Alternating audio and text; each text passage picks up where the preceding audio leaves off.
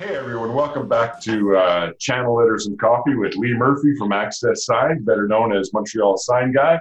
Myself, Robert Blyth with Nummax D- Digital Displays, and today we have a wonderful, wonderful guest with us.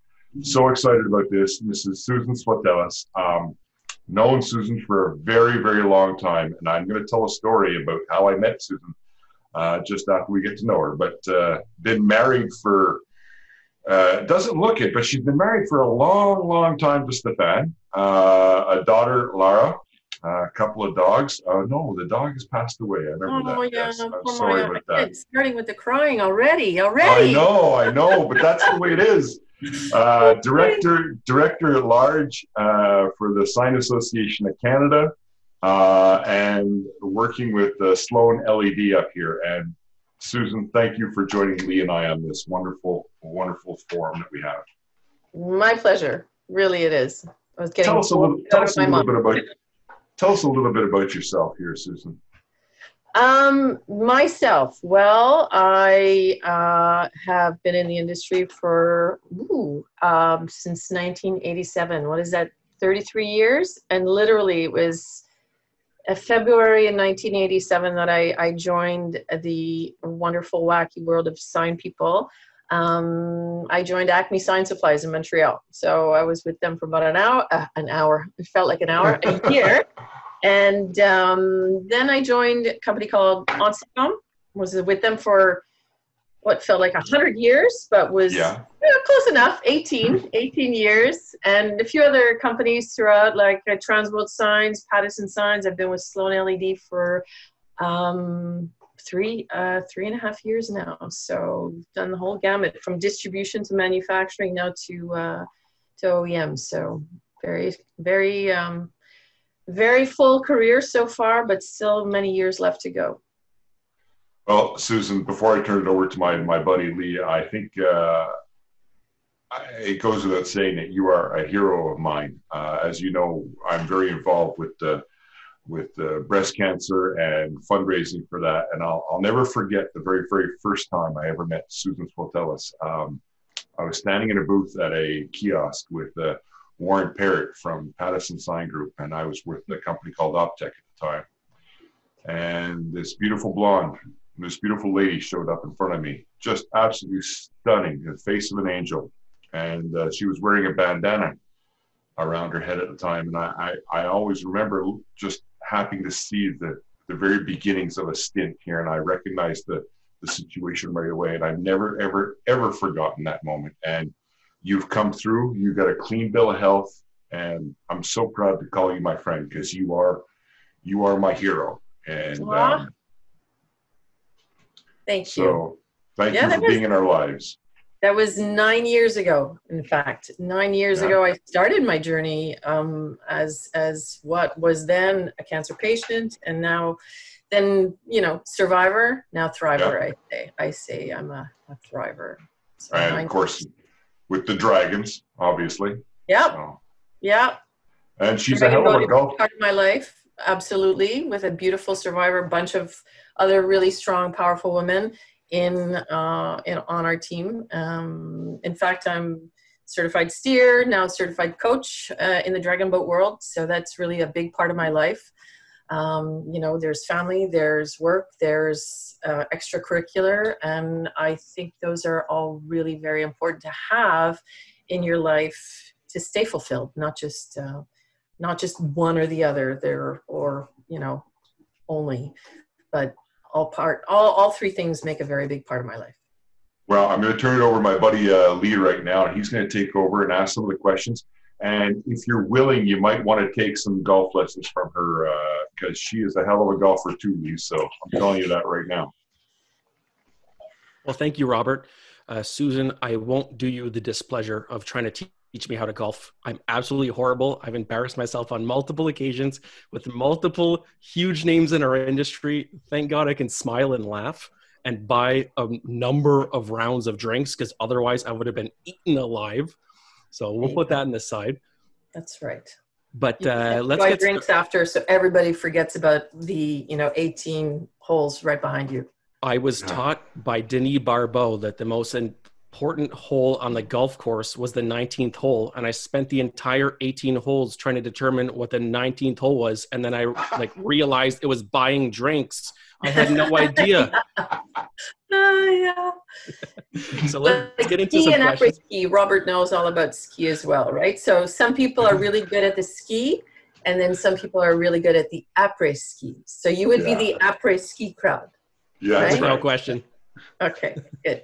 So uh, to, to, to talk about about your experience in the sign industry, um, maybe we'll start with how you and your family and team are doing right now with the forced seclusion, staying home, most companies being closed. Maybe give us a bit of your insight into how it's going with you and Sloan.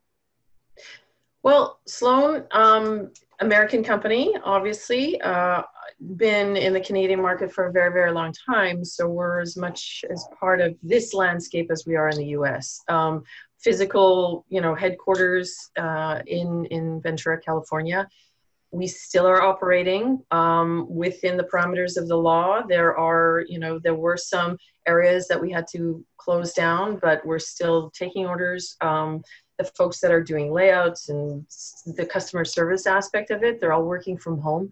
The physical folks in the manufacturing and the and the distribution center those guys are working but they're working within like i said the parameters of the restrictions that are put upon us a, little bit everywhere in the world right? So but so far um, we're keeping up definitely keeping up. We're you know ma- you know managing all the time frames that you know we have as a normal commitment so respecting those it's it's a challenge for sure. It's a challenge for everybody. Myself um, working from home usually i'm a bit of a road warrior so i'm out there you know i have a huge territory to cover. I mean i'm one person in canada covering the whole coast to coast to coast versus you know i've got i think seven or eight counterparts in the us taking care. Obviously the business is much larger the volume of business much larger in, in the states but um, still a lot of miles to cover or kilometers to cover here in Canada. So I'm often out and about. So, and when I'm home, I'm working from home and within the market here in Quebec is a very, very important market for, for the industry as well. So what I'm seeing is that there's, there, there are differences within the regions. So, you know, out West is not operating or not as shut down as it is maybe here in Quebec. Um, some provinces are, are working at you know uh, higher capacity than we are, so there's still a lot more activity. Um, but it, it's it's different. So what you know, being grounded for me, who's a you know I'm a I don't know, am I an extroverted introvert or an introverted extrovert? No, I don't think I, there's any introvert there. So let's just say for an extrovert, for me, not being able to get out and interact and mingle with you know my my peers um it's a challenge. So yeah i'm you know glad that i'm er, higher up on your list of you know on on not you know importance but at least on numbers. So i'm getting into you know into conversations with you guys like this. But we're keeping i mean i'm keeping in touch with with our teams, our distribution teams, the sign companies that we work with, I'm staying in touch with them, doing a lot of video conferencing and everything. So, Have you or your husband thrown a plate at each other yet, or um,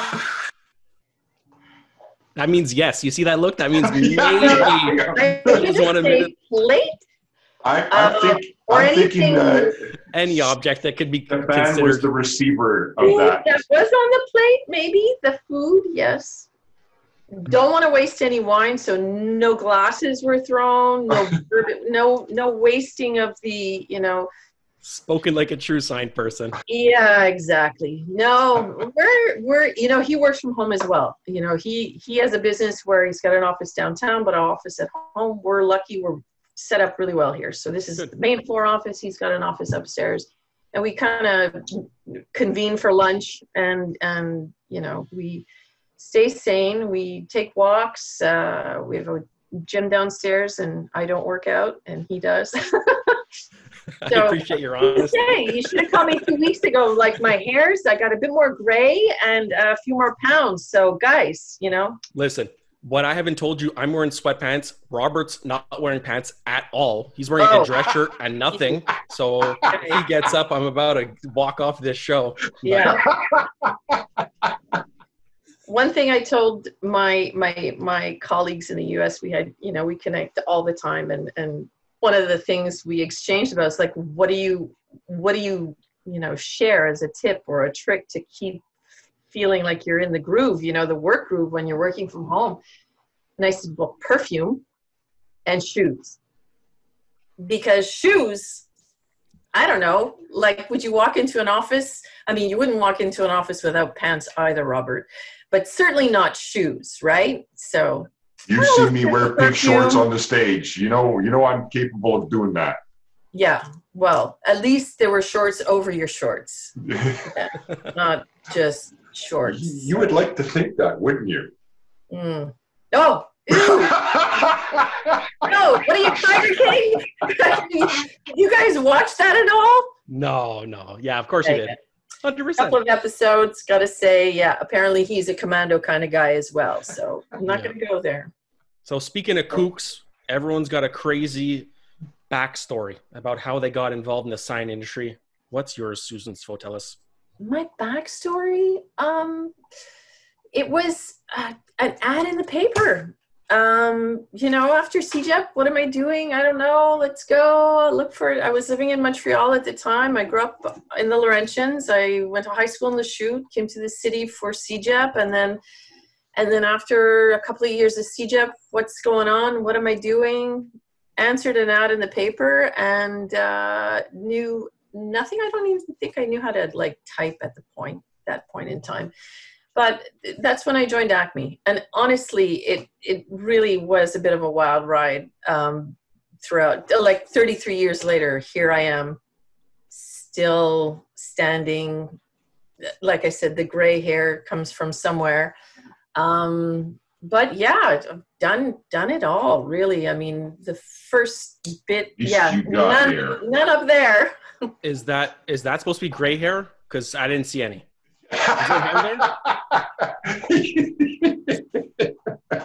gray, nearly their hair. Right. Nearly there is actually his hair color. Nearly there for men. Yeah. Uh, no, I the most, the bulk, I would say, you know, the beginning part of my career, those 18 years that I spent with, with Onsicom, you know, in the neck of the woods where you spent some time as well over in Lachine. And mm-hmm. Uh, we were a custom design build company and a very small company, but we did a lot of very, very big projects. Um, you know, massive entertainment centers, you know, cinema, casinos, Anne was just sending me some pictures she found from her archive yesterday. You know, uh, the casinos we did in Ontario, we did, uh, you know, cinemas all over the country um, a lot of retail work, but you know, a lot of it was design builds. So the design build aspect of it, like one of our biggest projects, uh, one of the ones that I worked on, was where I met my husband, basically. So that that is uh, quite memorable, and yeah. So speaking of of large projects and 33 years in the industry, uh, we're going to translate into what your proudest accomplishment is during your time in the sign industry. You could say meeting your husband, we know you're lying. Well, it's a great story.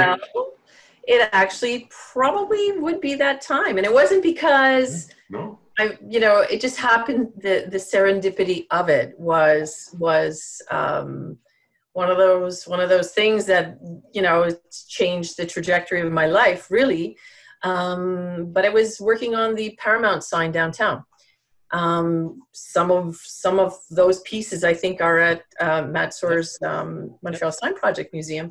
Um, that yeah, we we were I was working at Onsicom at the time, and we were approached by Cinoplus to look at a very complex design that they were working on, and it was almost one of those you know renderings that was fantastical. And how do we do that? And one of the owners is an engineer, a brilliant guy, and we ended up working with our engineering team and putting together. I would say we were, you know, doing the proof of concept and a lot of the engineering drawings before production, but literally by the time, you know, the um, the the the you know trigger went to go start manufacturing, it went from you know week one to week six and we were installing and it was amazing incredible um, project still standing 20 years later of course changed branding and iterations but the base structure is still there. And that was literally uh, where i met my husband. I was doing a lot of um, project management it was my client but also project you know all hands on deck kind of um, businesses you know? And uh, yeah i was there cranes set up uh, we had shut down downtown metcalfe st catherine street. And you know the guys were up there installing day in day out. And i was out there with my white hard hat on you know yelling up at the cranes. So we were really under a lot of uh, a lot of pressure to get um, the job done. And one afternoon i had just kind of okay it's five o'clock. The guy's still working. I'm done. Time for a little break as we need. Sherlock's next door went in had my newspaper open in front of me had a whiskey in front of me and apparently earlier during the week my husband who was working up the street at his office was noticing this woman who was creating chaos downtown with her mm-hmm. crews and everything. And he happened to be there at the same time and of course introduced himself to me i promptly pulled my newspaper closer to my face because i didn't want to be bothered by anybody let alone um, you know uh, get introduced to anybody at that time but uh, yeah it was uh, it was, uh, as they say, the rest is history. You know, I, I want to just add that you still create chaos downtown. Just just so you're clear on that, okay? Hmm. I try not to anymore, but um, I think we all have to be a little bit, you know, a little bit more uh, chaos less or less chaos as as we go through life. You know, we get a little bit wiser. Yeah. So no, but that was one of that was one of the bigger projects that I worked on. Many more, but that was I think one of the most important projects that became a life project for me. Amazing. You've mm-hmm. seen I want to say it all in the sign industry from every different facet supplier, distributor, uh, fabricator, project manager, sales, etc. You've come and given amazing lunch and learns at my company. Mm-hmm. And so I guess where what kind of insight can you give, give us into where you see the sign industry headed in the future? Listen, I think what we're going through right now um, is is a bit of a um, eye-opening moment. For many years, people are talking about bricks and mortar are that's going away. We're going to see more online. We're not going to, you know, need as many retail spaces as, you know, look who knows how this is all going to turn out. We we don't know. This is unprecedented. You know we're afraid i'm afraid to go to the grocery store never mind going shopping back and trying on clothes and all that kind of stuff. But i think the human spirit needs needs a partner. Um, whether it's uh, you know online whether it's walking down the street or seeing your neighbor i think it's really important for us to stay connected. And one of the one of the ways we stay connected and not to commercialize the message but one of these ways that we stay connected is meeting spaces. So whether it's a restaurant or a hotel or a retail space we meet each other. You go to a hotel lobby people are not up in their rooms you know doing their work. You see so many people in coffee shops. We stay connected even though we might be apart and people you know talk about you know you've got your phone in your face all the time but it's a different way of staying connected. I think our industry is going to, um, in the very immediate term, you know, suffer a bit of a setback. Everybody is from all all uh, sectors of the economy. We're all impacted, unless you're a grocery store or selling toilet paper. Um, but I think I think the reconnection that is going to happen when this is all over is going to bring a deeper meaning to what we do. And the experiential part of what retail has been trying to do for the past 10 years to stay relevant when the online world is trying to take away our attention and our dollars i think this is going to really um, reinforce how much the experience is important in in the retail world um, and I say retail meaning you know whether it's hospitality or or or you know right. restaurants or so the different segments of. So I I think that it's going to be, and I'm not an economist, uh, you know, but I think that that reconnection is going to be really very relevant for us when we get back to some sense of new normal. Yeah. Yeah. And we'll be there to support them because that's what we do, right? That's Yeah. what the industry does, whether it's, you know, interior decor, whether it's video screens, whether it's um, graphics or whether it's signs. It, that's that's the um, the branding message that supports those retail spaces. Yeah, And you said that perfectly. 100%. Yeah. Five, 10, 15 years from now, where do you see yourself? listen, as they say, it's like the mafia, right? Once you get in, there's no getting out. So the industry has been my home for a very, very long time. I don't plan on going anywhere. I love the company I work for right now.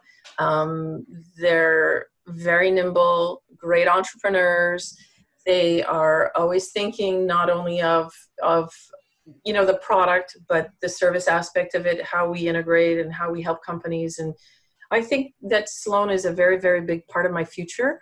And um, yeah I, you know I, I love traveling the country. I love spending time with our manufacturing partners. And for me it's it's it's where i live. Something that I've heard you speak about dozens and dozens of times. It's not on our agenda today, but you always talk about branding to the point where you've driven it home at board meetings. Uh, you've emphasized its importance. Do you want to talk a bit about branding? branding is for me more um it's more of a uh, it's how it's how something makes you feel whether it's a commercialized you know uh, whether it's a Rae Dunn mug uh, makes me feel happy. A brand is a physical representation of a sentiment that i think a company wants to you know make you feel. That's why car companies when they have ads running on tv it's they're not uh, lifting open the hood necessarily. They're showing you driving away into the sunset or you know spinning donuts or making life exciting or whatever the case may be. That's what branding is all about you know and and i think that we as brand partners to a lot of the brands that are out there we're supporting them. And i think it's really important that we we you know are able to align ourselves with the message that they're trying to deliver. I, branding is it's more of a feeling for me than than a physical only a physical um, logo or color it's all 100%. all encompassing 100%. I'll pass it off to Robert for any closing remarks. Thank you so much, Susan. I really enjoyed talking to you. Great seeing you again. i know even though it was just online it was really nice thank you guys for the invitation i really appreciate it it's a lot of fun Anything you want to add as we uh, as we finish up here, Susan? I want to add that I'm really proud of you guys. Like the two of you putting this together and making it a very like, uh, uh, you know, a con- connect. You're you're the connective tissue in in the you know in this this really uh, tough times. You know, and I think that the initiative to bring us all together, whether it's you know someone from the East Coast or West Coast or you know OEM or or manufacturer. I, I love it. I think it's really important, and that that's that's part of your brand, right? Is keeping keeping our our role within the community very relevant. And thank you for doing this. Thank you so much, Susan. We we loved having you here, and I think it's it's it's so worthwhile. I wish we could do hours and hours and hours of this chat back and forth. You can. I've got nothing else to do, guys. Seriously, keep it rolling. Keep it rolling. It's been too long. Well, Susan, before we let you go, if anyone wants to get in contact with you guys, wants to buy Sloan LEDs, boatloads of them, how do they get in contact Boatloads. with you? Boatloads. Yes. Email, website, etc. Uh, email is svotelis at sloanled.com and our website is www.sloanled.com. Thank you very much, Susan. It was a wonderful 25 minutes with you. I really enjoyed it. Me too. As always, we'll talk to you soon. All right. Be well, stay well, take care of your loved ones.